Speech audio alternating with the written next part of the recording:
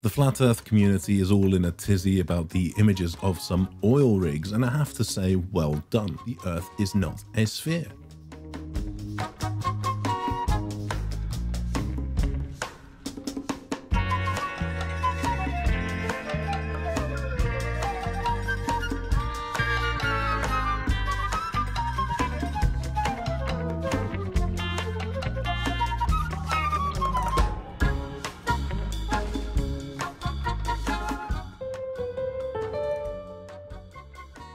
Flat earth community is all in a tizzy about the images of some oil rigs, and I have to say, well done.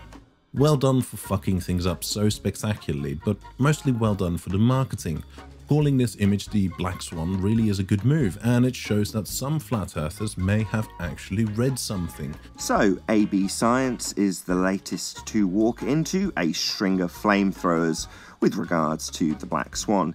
He makes an attempt to debunk this, and we'll go through some of his remarks in regards to the imagery and its justifications therein. Let's first address the modus tollens thing. Modus tollens states, if P, then Q, not Q, therefore not P. If P, we live on a globe of radius 3959 miles, then Q, every horizon distance measurement cannot be more than 1.23 miles times the square root of the observer height in feet. Not Q, the geometric horizon is far greater than 2.73 miles for 5 foot.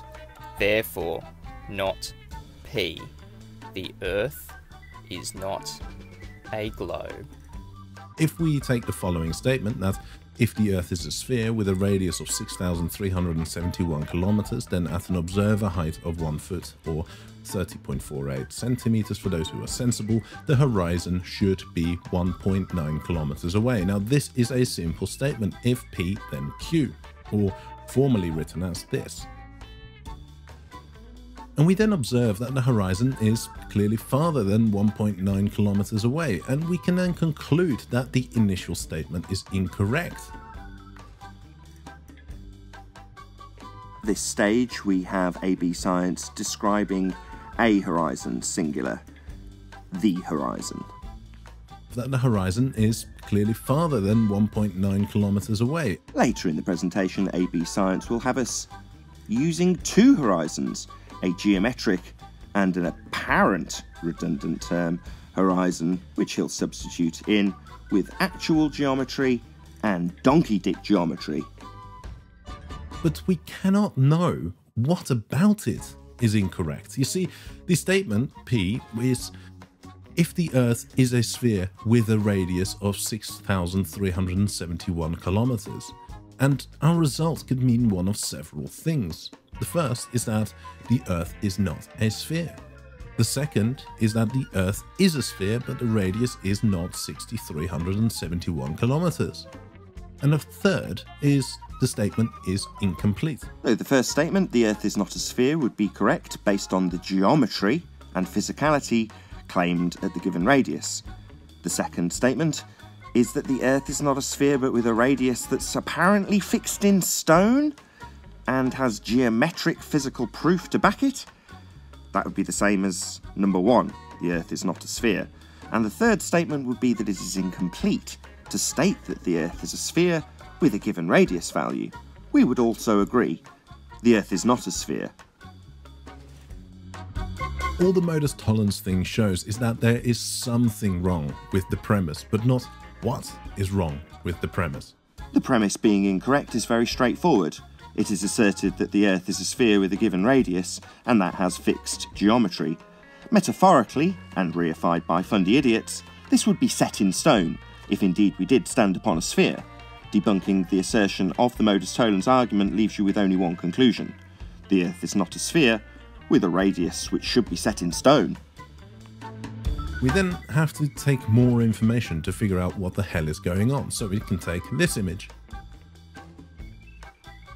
And we conclude that, yes, the Earth is definitely a sphere, and Ah, the old presenter white swan and declare that the physical geometric horizon is once again physical, geometric, and obscuring things in the distance based on Earth geometry.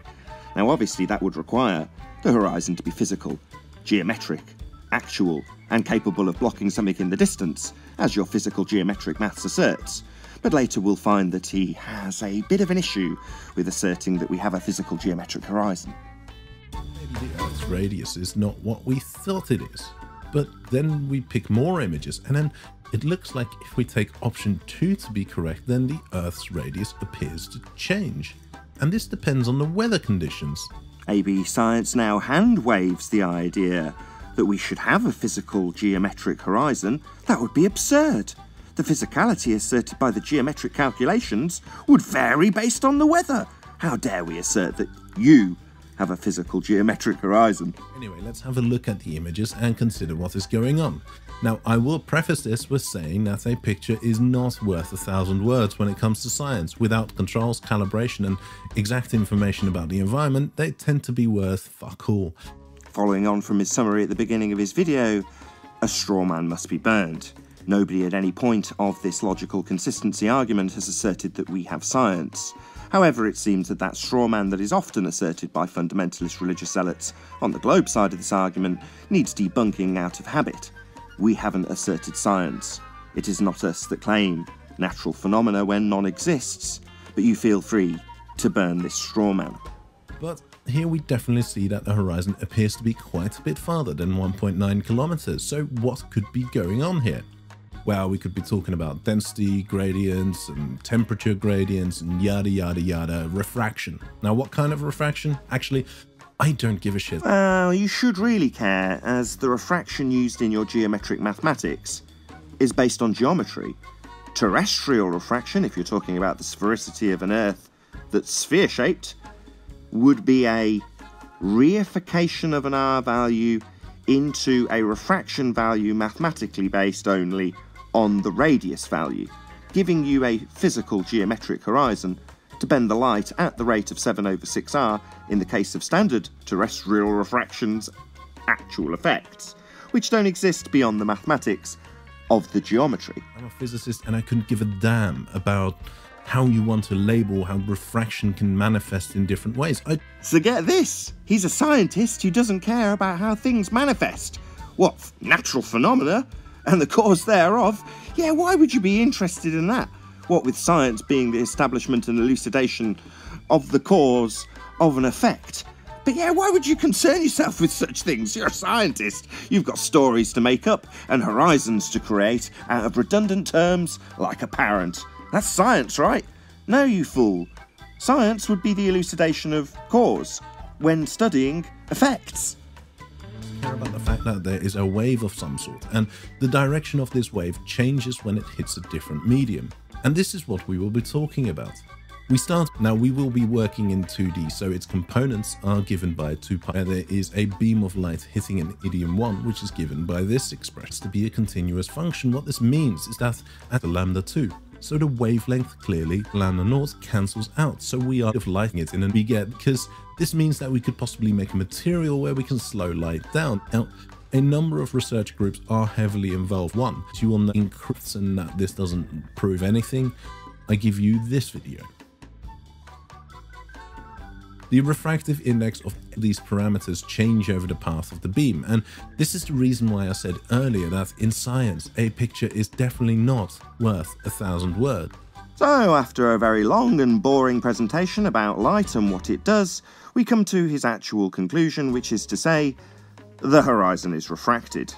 So I may as well just demolish his point immediately, which is to say that we only have one horizon. The horizon in his geometric model is, of course, geometric. The refraction in his geometric model is based on R, giving him a physical geometric horizon. So his bullshit swindle now begins, and he inserts his second horizon, utilizing the term apparent, not realizing, like many of the idiots who have discussed this black swan argument, that the term apparent is already included in the definition of a horizon. That would be the apparent position, where the sky meets the ground, or the position where the sky appears to meet the ground, apparent being entirely redundant. But you can make some pretty easy approximation.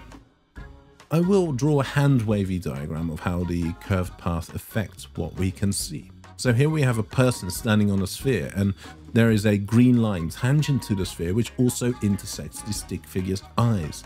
And so here we go with our two horizons. We're going to be performing actual geometric calculations based on the green line that we cannot see, giving us a geometric horizon that doesn't exist, and another redundant term usage of the word apparent Apparent Horizon! Hooray for the usual bullshit from globeheads who don't understand the argument and appreciate they require a geometric horizon. And this indicates the location of the geometric horizon. We then have some oil rigs which are just beyond the geometric horizon. The oil rigs are just beyond a geometric horizon that we don't experience, cannot see, and yet he's drawing a line to it to perform the geometry required to employ terrestrial refraction at 7 over 6r and give him a second refracted horizon that's apparent in the distance? Well, we'd need that first geometric horizon. Where the hell is that if we can't see it? How are we going to draw a straight line to it, AB Science? You'd require a geometric horizon for this explanation, now wouldn't you? It's feasible for the apparent horizon to be behind the oil rigs. In contrast to other videos, I didn't actually perform the calculations for this bit, and it's actually just a picture I drew. I like to be transparent and show every step of the way, and that is just not feasible for these kind of calculations. At least at some scale, AB Science understands that he does require a geometric horizon to draw a straight line to, even though he's got an explanation of precisely how not straight and bent those lines actually are. So, we only have one horizon, the horizon in your geometric model is physical and geometric. The apparent horizon, as you're describing it with this redundant term for the apparent position where the sky meets the ground, is not a physical horizon as demonstrated in your geometric model. You absolutely require a physical geometric Earth curve to be in visible actualization and block things in the distance, as demonstrated by your example of a white swan. Unfortunately, it's not your choice whether the horizon is physical on one day and not actual refracted, apparent on another. You have failed to debunk the black swan. You require a geometric horizon. The horizon we experience absolutely is not geometric. But with that, thank you all for watching, and I want to say thank you to my patrons. You'll see me soon.